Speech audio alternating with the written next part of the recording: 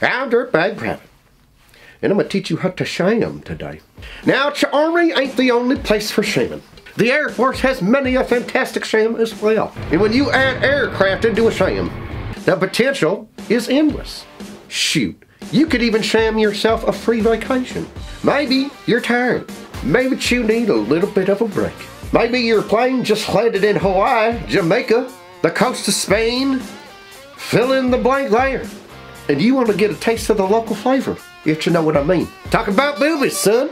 Or maybe for you lecture airmen out there, a tall, foreign man, handsome, skin, kissed by your sun. Woo! Getting me a chat feeling when I read Fifty Shades of Grey for the first time.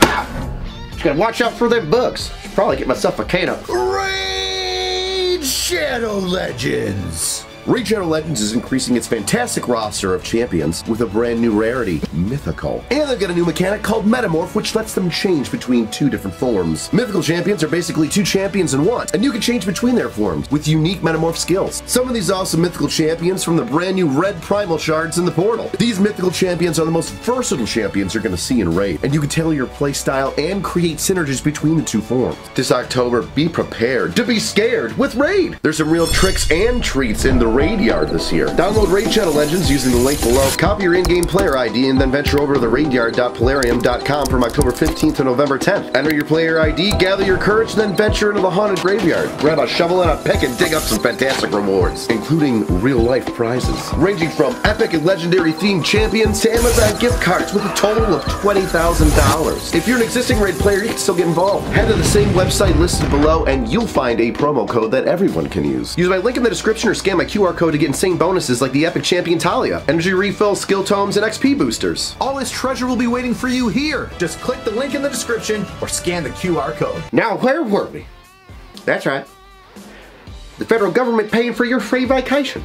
Now, this sham is simple. It is perfect, but that doesn't mean that it's bulletproof. The second you get too cocky in your sham is when you fall like Icarus, flying too close to the sun. Aim for the bushes. I'll give you an example. Just a few weeks ago, some fantastic high-level shaman airman got busted for doing a quick touchdown out in Martha's Vineyard to pick up a fantastic, beautiful motorcycle. Normally, I would not have an argument for that. Pick up your cars, pick up your ladies, and fly your way into the distant lands of whatever Air Force base you're going to. But they got caught. A shame. But there's also been incidents of airmen getting their PP slapped because they intentionally broke their airplane while landing in a beautiful foreign country. A place some might consider a hot travel spot. How and why would you intentionally break an aircraft? Why?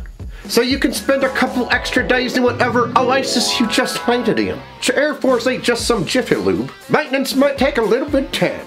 So while your aircraft is grounded, having its boost pack power flight controls looked at, you're out exploring the town and living free in temporary housing. How you break your aircraft intentionally is another question. You can't fake a flat tire, so I ain't telling you to go start stabbing aircraft tires. One, you're gonna lose your face. And two, you're gonna be brought up on charges.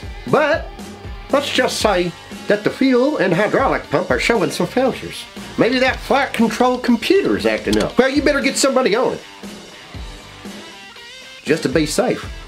Now, for some of those who might just lack a little bit of imagination, here's what it might look like. Sir, uh, we have thoroughly enjoyed our time here in the Virgin Islands. Uh, we can't wait to get back home to Alaska. It's gonna be great. But we have noticed that there are some issues with our aircraft that we've just been made aware of. Oh dear, is it anything serious?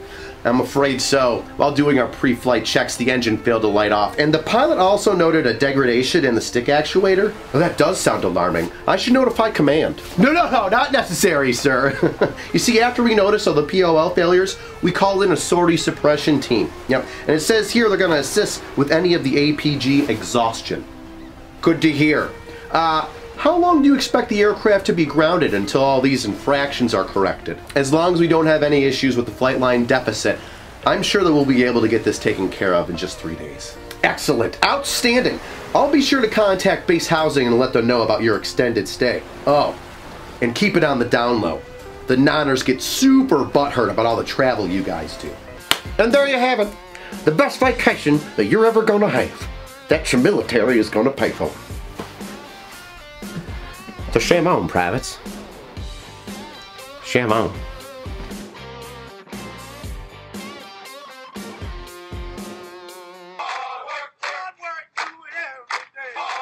Now, I've been getting a lot of flack from a bunch of you weirdos saying I don't know how to pack a carton of cigarettes for shit. So let me share some knowledge with you dummies. How many times do you think I've gotten out of a detail if I'm over at the smoke pit? How do you think none of these are ever lit? Silly boots. Learn how to shine 'em.